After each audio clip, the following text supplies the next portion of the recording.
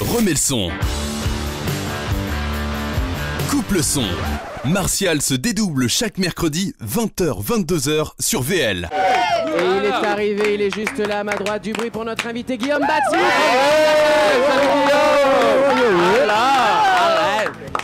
Arrêtez, arrêtez, vous me gênez. Ça va mon Guillaume? Ça va très très bien, Martial, et toi? Ben ça va super, merci beaucoup. Je t'ai jamais vu, mais je te tutoie. Voilà. Ouais, ben moi je t'ai beaucoup vu parce que j'ai beaucoup regardé tes vidéos et on est tous fans ici euh, ce Grave. soir. On est vraiment Ouais, ravis de t'accueillir, vraiment. C'est un grand euh, bonheur de t'accueillir. Alors je te présente l'équipe, tu leur as dit bonjour Julien, Rachel, Bishop, Sarah que tu pourras choper éventuellement. on est en train de, de voir ça. Alexandre et euh, Flora. D'accord. Toute, Surtout, toi, ne me donne jamais l'adresse de ton barbier. Si, il, est, il est au top, il est au top. ouais, ça Ouais, ouais, démarre, mais- euh, ouais, ouais, ouais, c'est- Guillaume, l'émission est à toi, vas-y clash. Bah, je pense que je vais pas rajouter de l'excentrique sur de l'excentrique, tu vois. c'est- Ouais, je comprends, je comprends. tu vois, c'est, euh, On va- Ok. je vais attendre deux minutes pour commencer à rire à tes vannes, euh, Guillaume. Euh, alors bon, je le Parce disais. qu'elles sont euh, mauvaises, c'est ça, je- enfoiré non, parce- non, je vais te dire pourquoi, Guillaume. Je vais te le dire pourquoi. Parce que t'es meilleur que moi et j'ai du mal à l'admettre. Ah, oh. Aïe. Heureuse- Elle est venue me sauver la vie cette phrase. Merci, euh, merci à mon orthophoniste. Guillaume, je le disais tout à l'heure, tu es actuellement donc à la Comédie des Boulevards à Paris tous les lundis à 20h. Ouais.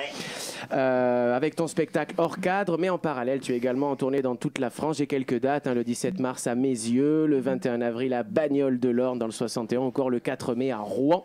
Le 3 et le 7 février, je sais plus où. Euh, voilà, donc euh, vous n'hésitez pas, vous mettez une date et puis vous vous démerdez quelque part. hein, vous vous démerdez. Ouais, Alors. Guillaume, rapidement, si je te demandais de me donner envie de venir, vous- de, de venir te voir sur scène, tu me répondrais quoi, Guillaume Je te dirais que c'est euh, l'histoire d'un petit gars euh, au physique euh, très atypique, euh, mais néanmoins très très beau, euh, qui raconte sa vie et qui essaye de, de faire en sorte que les gens se sentent bien.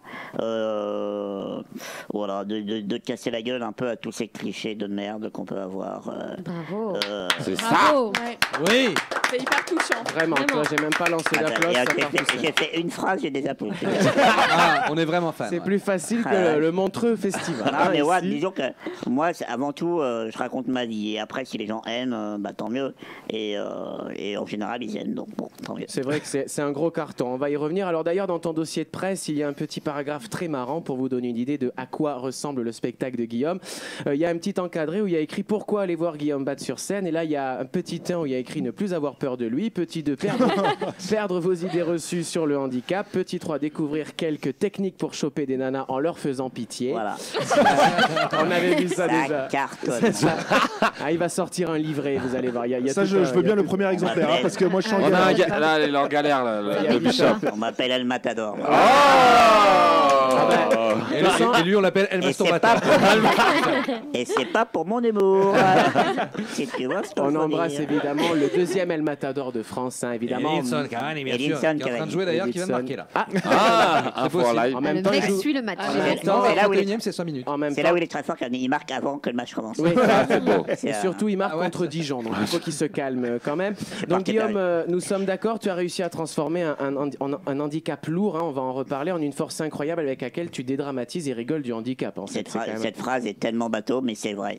Euh, non, mais c'est vrai. C'est vrai. Euh, je l'ai tellement entendu, mais c'est vrai au final. C'est vrai que moi, ma vie m'a amené, mon handicap, enfin, c'est pas mon handicap qui m'a amené à l'humour, c'est ma vie tout, tout simplement, mon parcours un peu chaotique, euh, euh, santé, euh, même les moqueries, tout ça. Donc c'est, ça qui m'a amené à l'humour. C'est pas des inspirations d'humoristes, notamment, qui ont, qui ont pu D'accord, c'est vraiment. On me demande souvent d'ailleurs, t'as des modèles Et dis non, pas trop. Et justement, est-ce que tu as des modèles Non, mais c'est vrai que ça, ça, ça sort de, ça sort vraiment de toi. C'est quelque chose qu'il a, qu'il a mûri pendant plusieurs années. Alors, en exclusivité sur VL, voici un petit extrait en vidéo du spectacle de Guillaume Ah, Batz. génial. L'écran est juste là parce qu'on nous a installé des écrans. T'étais pas là, ils étaient pas. Je sais pas si tu as des pouvoirs au gouvernement, mais en tout cas. Ah, je euh, connais bien Joséphine Angelarian, c'est pour ça.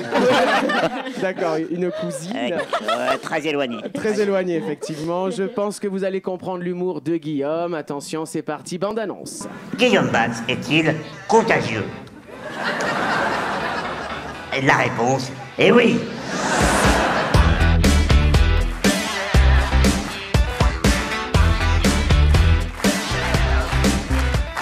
Pense qu'il y a des gens qui ont des handicapés dans leur famille et qui vont jamais les voir, alors payer pour en voir un qu'on connaît pas, question à laquelle je vais répondre aussi, je vais crever l'abcès tout de suite. Tout le monde se la pose, je le sais, par expérience, mais personne n'ose me la poser. Donc, oui, ma bite est droite.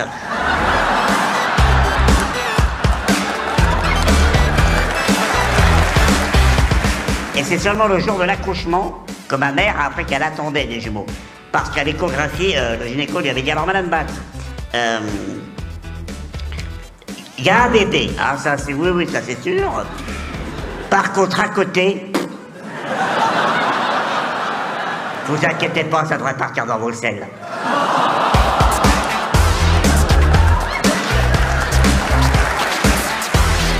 Vous savez quoi? C'est comme ça que je nique tous les soirs.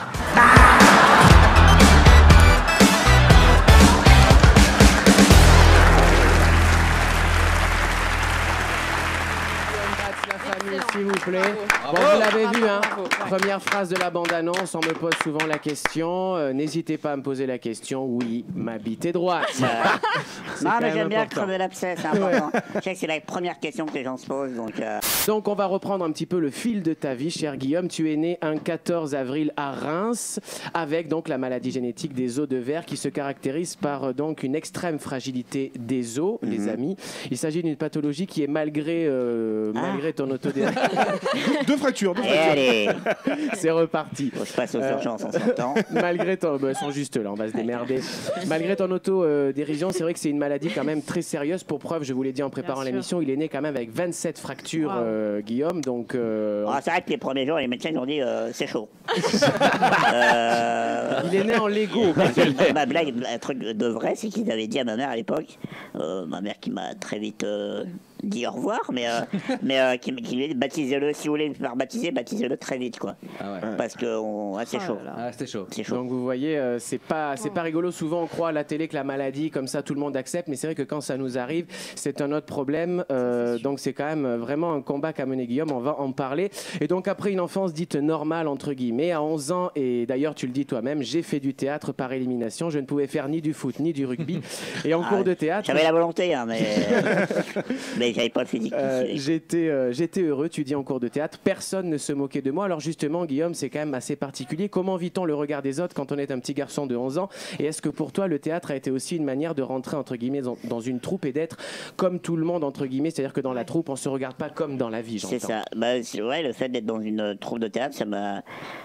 Ça m'a. En fait, quand j'y allais, j'étais quelqu'un d'autre. Donc, euh, et après, bah, il y T'étais avait. toi, en fait. J'étais moi, et je- disons que je montrais aux autres ce que je pouvais pas forcément montrer dans la vie de tous les jours, à savoir ce que je valais, en- ce Évidemment. que- mes- mon humour, enfin, voilà. Et, et c'est ça qui a fait, qui, a- qui m'a construit euh, en termes d'humour aussi. C'est fin 2011 que les choses sérieuses commencent grâce à une vidéo d'un de tes sketchs enregistré au théâtre Trévise lors d'une des On- scènes Répète-moi ouvertes. ça au théâtre. Au théâtre Trévise. Ouais, pas au théâtre, très très très. Ouais, ouais. Parce que le très Trévise, c'est un tout petit bar gay euh, dans Paris. Ça n'a absolument Ouais, rien ouais, à ouais, voir. On t'as l'air de bien connaître.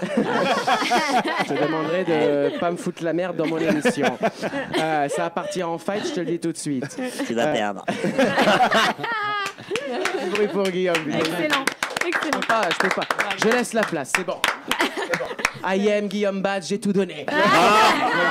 Tu sais, Énergie 2, c'est quand même la seule émission. Tu sais, on en fait des records régulièrement d'audience, tu sais, des records, mais souvent c'est sur les roues à lunettes, sur les, Ouais, sur les tu minorités, quoi. Voilà, sur les, sur les Non, on était minorités. bien sur des cibles. D'ailleurs, sur les gens qui ont ta maladie, on est très bon. Hein, je te dis, euh, ah bah Bah, ils sont en fin de vie, ils n'ont plus rien à perdre. hein, euh, donc, euh, Guillaume, on enchaîne.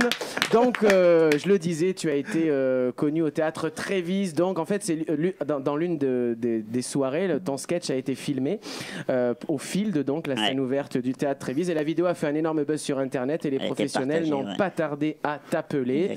Et la cerise sur le gâteau, c'est quelques mois plus tard. On demande quand rire sur France 2 avec Laurent Ruquier, émission dans laquelle le grand public te remarque à son tour. Ouais. Euh, on demande quand rire, tu l'as vécu comment? C'est une, une émission pas facile à faire c'était une apparence. euh, très très très très bonne expérience. En fait, c'est marrant parce que les gens euh, me disent ah vous avez vu dans un moment en rire, mais en fait j'y suis passé que cinq fois dans cette émission, Euh, trois fois en, en invité et deux fois avec euh, des propres sketchs à moi. Et euh, j'aurais pu d'ailleurs y aller une troisième fois. J'avais Ouais. le- le- les notes pour. Jean Benguigui m'a aimé assez. Euh, C'est la base. mais euh, non, mais je pense que quand, quand t'es reconnu dans le métier par Jean Benguigui, c'est euh, C'est un truc commun entre vous tous. hein. Quand ça parle de cette émission, Jean Benguigui il ressort souvent quand même. hein. ça, vous, ça vous déporte. hein. C'est sûr, c'est sûr. Non mais moi je pense à des, à des gars que la première, parce que la première année, je me souviens de cette émission, euh, les premiers mois, euh, c'était des, des, gars- des personnalités qui venaient faire leur pub, un peu les jurys, Ouais. qui connaissaient. Et je crois qu'il y a un mec qui s'est fait noter par Dorothée, quoi. Voilà. Ouais, c'est dur. Ah, c'est dur. c'est dur. C'est le mec qui se fait buzzer par Dorothée, c'est chaud. quoi. non, j'ai pas aimé. Bah, c'est normal, Dorothée. Ce n'est pas ton métier. c'est ça Non, en réalité, est-ce que euh, depuis que Jérémy Ferrari travaille avec toi, que ce soit sur le papier, en écriture ou en production, est-ce que vraiment on peut dire que euh, le succès euh, a grandi depuis qu'il est là? Est-ce qu'il t'a apporté beaucoup? Jérémy, il m'a, ouvert des. Jérémy, c'est quelqu'un de très rigoureux. Donc, c'est quelqu'un de très. qui est, très dans l'exigence. Il très exigeant avec moi. Et ça m'a beaucoup servi parce que c'est vrai que moi, j'avais au début à faire ça un peu en dilettante. Et, et lui, il il il a été dur parfois avec moi. Et aujourd'hui, je le remercie parce que c'est pas encore parfait, mais je, je, je pense que j'ai pris beaucoup de, de, de- d'expérience grâce à lui. Et puis, Eric, euh, Eric, c'est autre chose. Eric, c'est différent. C'est- chacun m'apporte en fait. euh, D'accord. Eric, c'est un grand rêveur, c'est un poète, c'est un magicien, Eric. Donc, c'est- il a cette fantaisie, cette euh, poésie en lui. Et Jérémy, c'est un mec plus, plus terre à terre, plus, plus dur. Et donc, chacun m'apporte. euh, Mais si, Voilà. je, si je peux me permettre, dans la coécriture, quand on, quand on vous irez revoir, sketch j'ai coécrit avec Jérémy, ouais, ouais. C'est exceptionnel quand même. Mais Leur, moi- duo à Montreux, il a un duo entier où en fait. Guillaume n'a pas de réplique et il rentre pour lui dire Excuse-moi, j'ai pas de réplique. Ce n'est pas maintenant que tu rentres, Guillaume Bach. C'est excellentissime. Excellent. Il dit, euh, je me souviens, il dit, il dit euh, lis sur mes lèvres, c'est pas, c'est 540. Alors, j'ai dit, toi aussi, lis sur mes lèvres. Il dit, je ne peux pas. Je n'arrive pas à les situer sur ton visage. Je, je ne peux pas, Guillaume Bach. C'est énorme. Du bruit pour Guillaume s'il vous plaît, qui est avec nous. À Paris, Lyon, Marseille, Lille, Bordeaux et partout dans le monde. Écoute VL sur vl-media.fr et sur ton app.